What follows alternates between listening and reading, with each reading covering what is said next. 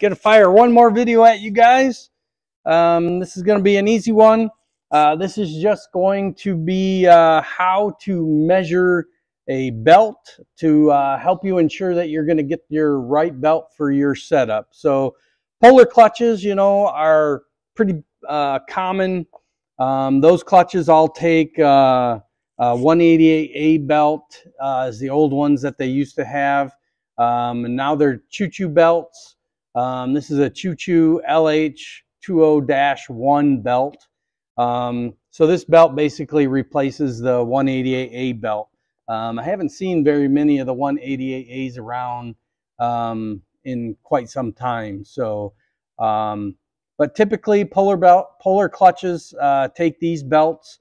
Um, of course, if somebody goes in and shims the secondary clutch, you can actually shim the secondary clutch so your sheaves are farther apart, which means then you can use a wider belt.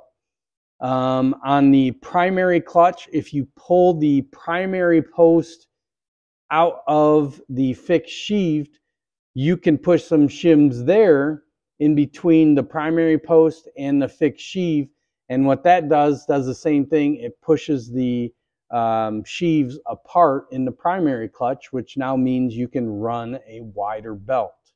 Um, so let's just talk about real quick about how to measure a belt in case uh, you ever want to give us a call and order a belt. Um, this is the only style belt that we carry. You know, it's got the top cogs and the bottom cogs on it. Um, this basically replaces the Polar 188A belts. Um, this is the Choo Choo, um, the uh, LH20-1. Um, I know there's been some 003s, 001s, uh, things like that. So uh, probably the number one tool that uh, you should have in your arsenal is going to be a set of calipers. Uh, you can pick these up from Harbor Freight for, you know, 15, 20 bucks. And um, these are great tools. I use these so often. Um, all you're going to do is, if you look at the belt, the belt has a little bit of taper um, on the inside. It tapers down on the inside, and on the outside of the belt, it tapers out. So right on the uh, widest taper of the belt is where you're going to measure. Just take your calipers and kind of pitch them together. And right here, I'm getting uh, 0.826. Go a little bit farther around the belt measure there. Now I'm getting a 0.817. Go a little bit farther around the belt. Take another measurement. I'm getting a 0.821. Go a little bit farther on the belt.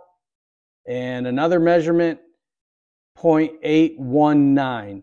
So measuring in that many uh, different positions on this belt, you want to do that because then you want to take like the average so I would uh, dare called this, it's a 820 wide belt. Um, once you first run it, run it, all the really wide spots on this belt, anything that's over 820 is going to get knocked down pretty quickly.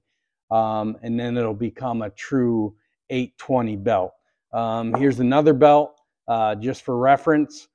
Um, we're going to take the measurements uh, about 820 right there, a little bit farther, uh, 820, go a little bit farther, 820. All right, so right here, this belt, this belt is also an 820 wide belt. They'll vary anywhere from 800 uh, to about 830, uh, typically on the polar clutches. Um, when you get a belt that gets down around 775, 760, uh, you'll definitely want to get rid of that belt. It it, it uh, lost a lot of material and uh, will not work properly for you anymore. So um, so perfect belts, you know, are 800, 810, uh, 815. That would be the size belt that I would run run with a polar clutch.